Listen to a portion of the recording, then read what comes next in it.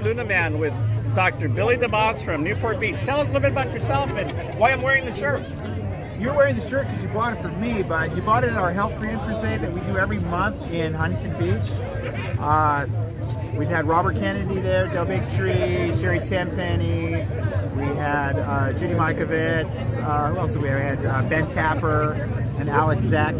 So I, I bring the the news, the truth, and then we play rock and roll at the event. So it's uh, it's a not only a celebration or a party, as I like to say, but it's also we bring you pertinent information. It's a good chance for us. Like we had 700 people at the RFK one, and we raised money.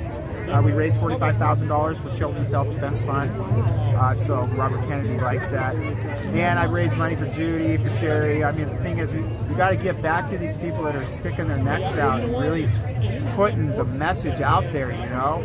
Uh, and you know, I, have always been about the truth. I've been doing it for, I've been trying to tell people this for 35 years now, and now it's all coming to the fruition as I had predicted. And used, people used to think that I was crazy. I mean, I wasn't crazy. I just believed in a lot of stuff that most people couldn't even fathom was true. I mean, like today we're getting sprayed continually by chemtrails, which I know a lot of people think is conspiracy, but that's what the whole cloud covered. To, it would be completely clear. And I'm actually grateful because I'm, I was getting hot. I was getting burned up. So, and that's just another way for them to get all the nanoparticulate metals into you. So when they crank up the, can't say that, your phone, whatever your phone is on.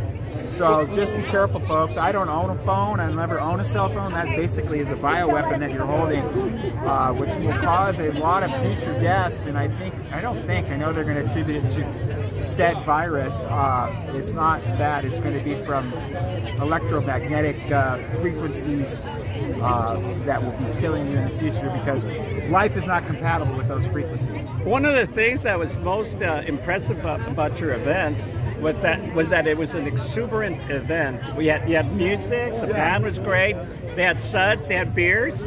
We had beers there at that place. Yeah, and I'm so, a water guy, so. Well, I, you know, I yeah, I, I, enjoyed, I enjoyed. I, I, I had um, I had a driver and everything, so I had a great time listening, and you know, I got to meet RFK Jr. and it was a great time. So Give him your, uh, how you can Go to Dr. Billy DeMoss. Doc, D-R-B-I-L-L-Y, D-E-M-O-S-S dot com. Put your email in there and you'll get uh, notifications on all our events. Plus, you can buy swag there that we sell. Uh, there's all kinds of stuff there. And you can also check out my practice, which is uh, a face-friendly office. So, as we say, keeping it on the safe side there for all the trolls out there. All right. All right. Thank okay. you, Marco. That thank was you. Thank you.